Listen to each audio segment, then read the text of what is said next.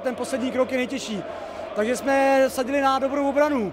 Pak když ten Štěpa dal toho gola, tak jsme si prostě po té první třetině řekli, že to prostě udržíme a že jakýkoliv prostě náznak, že, prostě, že, to, že to prostě odbráníme, že ty dvě třetiny odbráníme, což si myslím, že se nám mají povedlo, že tam nějakou extra velkou šanci ani neměli ani v té druhé třetině, ani v té třetí.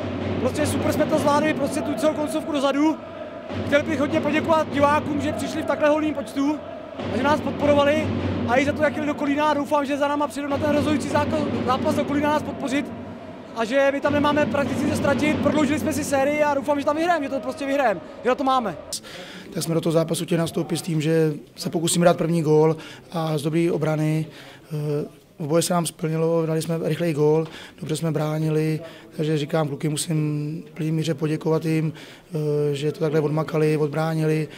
Eh, a teď už se můžeme těšit na ten pátý utkání. Říkám, chtěl bych poděkovat i divákům, kteří byli fantastický a doufám, že nás co nejvíc diváků pojede podpořit i do Kolína na pátý utkání.